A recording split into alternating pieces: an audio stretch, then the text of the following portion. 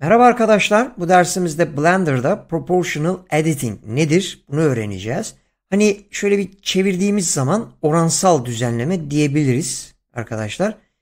Ne işe yarar bu derseniz e, özellikle e, arkadaşlar bunu böyle hani kara parçaları, dağlar, e, çeşitli yüzeylerde e, kısmi değişiklikler yapmak için kullanabiliriz.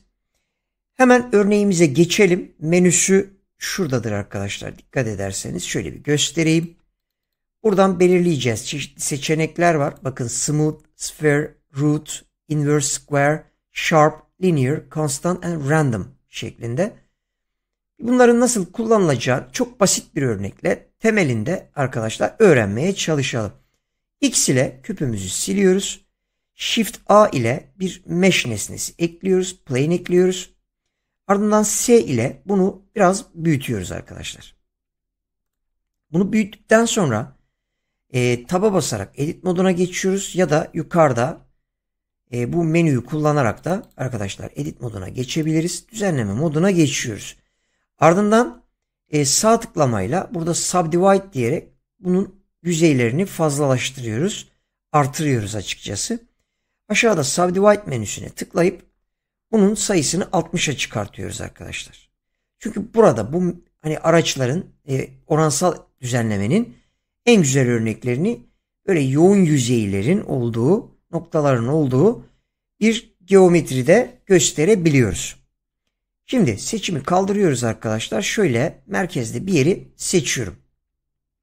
Şimdi merkezde bir yeri seçtikten sonra G ve Z ile arkadaşlar G taşımaydı. Z neydi? Biliyorsunuz ki Z ekseninde yukarıya taşımaydı. Bakın şimdi arkadaşlar şöyle yukarıya taşıdığım zaman dikkat edin. Tek bir hani vertex nokta yukarıya doğru çıkmakta. Bakın dikkat edin. Şimdi bunu ben fazlalaştırmak istiyorum. Şeklini de değiştirmek istiyorum. Böyle bir geriye alıyorum arkadaşlar. Geliyorum burada enable diyerek etkin hale getir, etkinleştir diyerek proportional editing'i yani oransal düzenlemeyi etkin hale getiriyorum. Ardından yukarıda bunların hangi işlevlerinin olduğunu teker teker bir görelim. Smooth'u seçiyoruz arkadaşlar. Yumuşak demektir. Şimdi bakın G ve Z ile yukarıya çıkardığım zaman dikkat edin arkadaşlar. Biraz önceki gibi böyle tek halde değil de yanında şöyle biraz yaklaşmak istiyorum. Yanında birçok noktayı da beraberinde taşıyarak yukarıya çıkardı arkadaşlar. Bakın. Şimdi burada bir güzel özellik daha var. Fare tekerleğini ileriye doğru götürürsek bu etkiyi azaltırız. Geriye doğru götürürsek bu etkiyi arkadaşlar artırırız. Bakın. Dikkat edin. Geriye doğru sürükledim. Etkiyi artırdım. Geriye doğru. Bunu istediğimiz gibi bu efekti verebiliyoruz. Evet şöyle birazcık daha inceltiyorum. Yukarıya doğru çıkartıyorum. Yani dikkat edin. Şöyle diyelim ki çıkardık kenardan baktığımız zaman aynen şuradaki sembolümüze benziyor. ikonumuza benziyor arkadaşlar. Dikkat ederseniz. Böyle bir özelliği var. Bunu geriye alıyorum. Ne alıyoruz arkadaşlar? Sphere yani küreye alıyoruz. Bakın küreye aldıktan sonra tekrar G ve Z'ye basarak bunu yukarıya aldığımda arkadaşlar dikkat ederseniz artık bunun daha bir küre şeklinde olduğunu görüyoruz. Tabi ile, fareyi tekerleğin ileriye aldığımızda küçültüyoruz. Etkiyi geriye aldığımızda etkiyi artırıyoruz. Bakın dikkat ederseniz artık burada tam bir küre görünümü vermiş olduk. Yan tarafından da baktığımız zaman bunu görebiliriz. Bunu sadece yukarıya doğru çıkarmakla yapmıyoruz, kalmıyoruz arkadaşlar. İstersek geriye doğru da açıkçası aşağıya doğru da götürebiliriz. Daha farklı efektler de oluşturabiliriz. Evet bunu da şöyle bir geriye alıyorum arkadaşlar. Tekrardan geliyorum burada root kök demektir. G ve Z ile bunu bir yukarıya alıyorum. Biraz şöyle daraltmak istiyorum. Bakın bunun da arkadaşlar genelde şekli bu. Root da bu.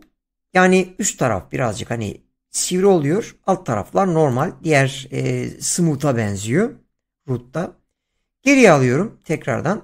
Inverse square diye bir şey var arkadaşlar. Bu e, hani inverse ters demektir. E, square kare demektir. Ters kare gibi bir özellik. G ve Z ile tekrar yukarıya çıkardığımızda bunda böyle olduğunu görüyoruz. Birazcık da smooth'a benziyor bu arkadaşlar. Aralarında e, ince bir farklılık var. Bu biraz daha ince görünürken smooth biraz daha veya sphere daha doğrusu küre arkadaşlar birazcık daha kalın gözüküyor. Bakın yine küçültüyorum etkisini, artırıyorum etkisini. Böyle bakın istediğimiz yerden bunu yapabiliriz. Gelin burada durdurduk. Bir daha G ve Z dediğimizde bakın etkiyi azaltıyoruz veya etkiyi artırıyoruz. Çok daha farklı efektler katabiliyoruz. Örneğin tekrardan arkadaşlar G ve Z diyoruz. Etkiyi bu sefer iyice küçültüyoruz. Bakın dikkat ederseniz bu sefer üst tarafında yine değişiklikler olduğunu görüyoruz. Veya geriye doğru götürdüğümüzde tam şuralarda bir yerde örneğin daha yukarıya çıkardığımızda çok daha farklı görüntüler elde ediyoruz. Dikkat ederseniz. Geriye almak istiyorum. Burada arkadaşlar Sharp'ı alıyorum. Sharp keskin demektir. G ve Z ile tekrardan bunu yukarıya çıkartıyorum. Biraz küçültmek istiyorum etkisini. Bakın dikkat edin şekline Sharp aynen burada göründüğü gibi arkadaşlar keskin demektir. Yine bunun da fare tekerleğini ileriye ve geriye götürerek etkisini artırıp azaltabiliyoruz. Geriye alıyorum. Burada linear var arkadaşlar. Çizgisel, doğrusal demektir. Şimdi bakalım. Bakın dikkat ederseniz burada da arkadaşlar artık tam olarak böyle sabit bir şekilde yukarıya çıkartıyor. Hani külahmış gibi bir şekil veriyor açıkçası. Bakın. Yine aynı etkileri verebiliriz tabii ki. Ctrl Z ile geriye alıyoruz. Constant var arkadaşlar. Constant sabit demektir. Şekline dikkat edin. G ve Z ile yukarıya alıyorum. Bakın şu şekilde yukarıya aldığım zaman dikkat ederseniz tam anlamıyla buradakine benzer bir görünüm çiziyor arkadaşlar. Hatta tekrar G ve Z dediğimizde etkiyi biraz küçülttüğümüzde G ve Z dediğimizde etkiyi biraz küçülttüğümüzde tekrar G ve Z diyerek etkiyi biraz küçülttüğümüzde ortaya çok ilginç geometrik şekiller çıkartabiliyoruz arkadaşlar dikkat ederseniz. Tekrar bunları da şöyle bir geriye almak istiyorum. Son olarak arkadaşlar random vardır. Bu özellikle dağlar, tepeler veya buna benzer şekiller oluşturmak için faydalıdır. G ve Z diyorum. Yukarıya kaldırdığım zaman bakın şöyle etkisini artırmak istiyorum arkadaşlar. Çok dar kalmış. Dikkat edin bayağı bir e, rastgele, random rastgele demektir. Rastgele yerlerden yukarıya doğru vertexleri yani noktaları çıkarmakta. Evet. Burayı şöyle durduruyorum. Bakın görüldüğü üzere arkadaşlar random da belli. Şimdi şu aşağıdan tekrardan bir gözden geçirelim isterseniz.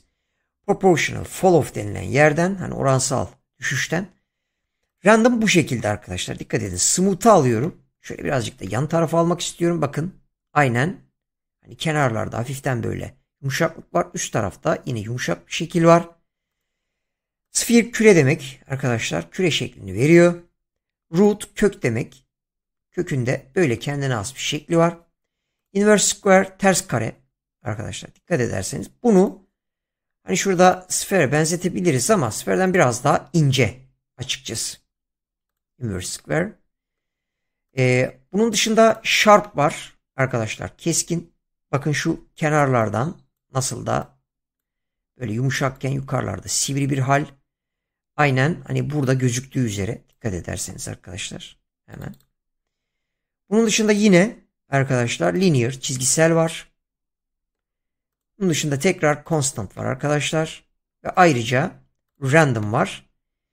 Tekrardan hani bu move penceresi içerisinden de bunları değiştirebiliriz arkadaşlar. Şuradan değerleri de değiştirerek bakın. istediğimiz efektleri verebiliyoruz.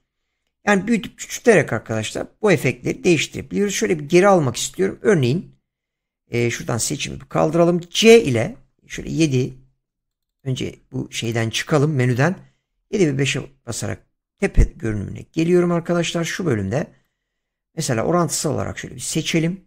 Örneğin belli bir yeri. Tekrar buradan çıkalım. E, neye alalım arkadaşlar burada? Örneğin e, spir küreye alalım. G ve Z ile yukarıya alalım. Bakın biraz şöyle arkadaşlar. Tekrar G ve Z ile yukarı alalım ama bu sefer biraz alçaltalım. Yani düşürelim. Özelliğini G ve Z ile yukarıya alalım ve tekrardan şöyle artıralım. Bakın şöyle çıktığımız zaman bu görüntüden ve bir de smooth görünümü verirsek çok daha farklı geometriler oluşturabiliriz arkadaşlar. Kardan alım oluşturabiliriz veya başka şekiller oluşturabiliriz. Tabii yüzeyleri daha da düzenleyebiliriz arkadaşlar. Bazı e, değiştiriciler var. Onları da kullanarak. Yani dilediğimiz şekli verebiliyoruz. Genellikle arkadaşlar bunun için kullanılıyor. Dediğim gibi e, bunda hani şekilleri uzatırken istediğimiz yerden seçebiliriz. Yani e, zeminden yukarıya doğru olmasına ille de gerek yok arkadaşlar. Örneğin şuradan da seçebiliriz. E, küre olmasın da burada örneğin linear olmasını istiyorum. Çizgisel doğrusal G ve Z diyerek şurayı biraz yukarıya alabilirim. Bakın bu sefer arkadaşlar şöyle yapalım. E, şuradan G ve Z diyelim biraz artıralım. Şu bölümde globali arkadaşlar değiştirebiliriz. Görünümü alabiliriz. Bakın view. Tekrar G ve Z diyerek çok daha farklı şekillerde dışarıya taşıyabiliriz. Lokale alabiliriz. Evet görüldüğü üzere. Tabi en başta almakta fayda var tabi şu anda etkilemiyor arkadaşlar. Şimdi görüldüğü üzere bu aracımızda arkadaşlar genel itibariyle böyleymiş. Hani temelini vermek gerekirse modelleme işlerinde yani çalışmalarında işimize muhtemelen yarayacaktır. İlerleyen zamanlarda modelleme çalışmalarım olduğunda organik veya diğer mekanik modellemelerde bunu kullanabilirim. Özellikle organikte işe yarayacaktır diyebilirim. Evet arkadaşlar böylece Blender dersinin daha sonuna gelmiş olduk. Sonraki Blender dersimizde görüşmek dileğiyle kendinize çok çok iyi bakın. Hoşçakalın diyorum.